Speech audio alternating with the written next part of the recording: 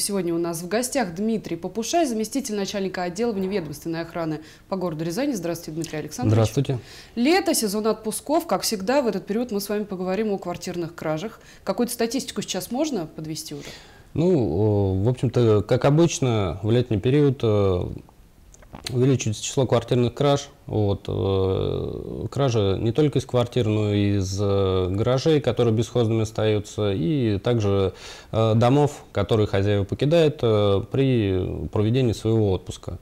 Выезжая за территорию, как правило, люди не беспокоятся о своем хозяйстве, вот, и совершенно напрасно, как оказывается. Вот кражи начинает, э, число краж начинает увеличиваться, и э, здесь, э, в общем-то, не спасает ничто. Ни соседи, ни собаки, ни какие-то другие, в общем-то, вспомогательные какие-то, вот, ну, другая помощь от, от, от сторонних лиц.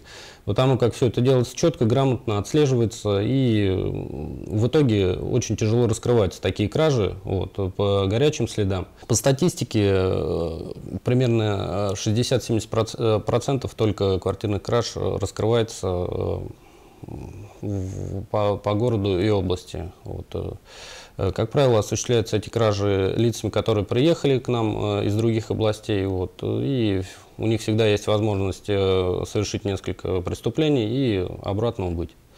Вот. Оста оставшись на какое-то время может быть даже безнаказанным. Вашим отделом ведется какая-то профилактическая работа? На постоянной основе проводится профилактическая работа по э, общению с населением, э, распространению агитационных материалов, э, печатной продукции. Вот, э, значит, э, в частном секторе проводится работа Э, э, производится встреча с ТСЖ, вот, э, которые в свою очередь общаются с собственниками, разъясняя им ну, позицию как бы внутренней охраны, необходимость охраны, что в каких, э, ну, что в каких рамках и на основании чего вообще все это происходит, на э, принцип нашей работы. Вот, потому что как бы со всеми встретиться не, иногда не представляется возможным, а вот э, через ТСЖ как бы на общих собраниях вся эта информация тоже доводится. Кроме того, производится уже отработка квартирных краж по сводкам, которые проходят у нас вот по городу Рязани, да, то есть если э, произошло такое вот происшествие, да, э, сотрудники нашего отдела выезжают по месту и э, уже непосредственно с потерпевшими, с их соседями проводят э, э, работу, то есть э, рассказывают, поясняют, объясняют, э, что им нужно сделать для э, постановки квартиры под охрану и общее положение вот описывают наши работы. Какие-то новые услуги появляются у вас? Да, на данный момент э, у нас появилась возможность э, использовать э, мобильную кнопку экстренного вызова наряда полиции. Э, что это из себя представляет? Э, мобильная кнопка представляет из себя ваш собственный телефон, который э, находится у вас на руках. Э, и находясь дома, э, вы можете ей воспользоваться. Э, то есть тревожная кнопочка на вашем телефоне, она привязана к адресу. В чем большой плюс? Большой плюс, что не нужно устанавливать дополнительную аппаратуру, не нужно тратить денег. Собственно говоря, не нужно ничего, кроме вашего сотового телефона и положительного баланса на счете, чтобы можно было осуществить вызов на заранее запрограммированный номер. Очень важно это для э, людей, которые ну, с, находятся, как сказать, э, в зоне социального риска. Это у нас э, бабушки, дедушки, ветераны наши, э, дети, э, которые днем находятся дома. Как правило, под видом работников каких-то структур, да, ЖКУ, там, э, газовщиков, пенсионный, соци... фонд. пенсионный фонд социальных каких-то да, служб, э, заходят подъезд, Правону... в квартиру, Да, конечно. правонарушители представляются и, соответственно, отвлекая внимание, э, происходит, как правило, воровство, грабеж, э, ну, какие-то противоправные действия. Вот. Чтобы, если даже человек пустил домой, да, но понял, немного, что, наверное, это все-таки люди какие-то... Э, аферисты. Аферисты, да, возможно, аферисты. Ничего страшного, у него телефон находится в руках, он никуда не идет, он не бежит. Потихонечку зажимает одну клавишу, э, и происходит э, вызов наряда полиции. То есть какое-то наставление сейчас можете жителям Рязани дать? Ну, наставление, хотелось бы сказать, э, в любых случаях, при любых э, отъездах, уездах и оставлении своего жилища, даже никогда не держите свои материальные средства Э, значит, э, в доступных местах, вот, в очевидных местах для преступников. То есть э, все преступники, они прекрасно знают и понимают, и э, эти места всегда там шкаф какой-то, там где-то тумбочка, где-то что-то еще. То есть материальные ценности свои нужно э, хранить и убирать в отведенные места. Лучше, чтобы это был какой-нибудь небольшой даже сейфик. Вот, ничего страшного, ну, сейфик в шкафу прикрученный, никто его не видит, не знает, но вы в свою очередь, потому что кража, как правило, происходит на рывок, то есть э, человек заходит, э, ему требуется 3-5 минут, чтобы все это спокойненько вычистить и закрывает дверь и уходит. Э, в общем-то так.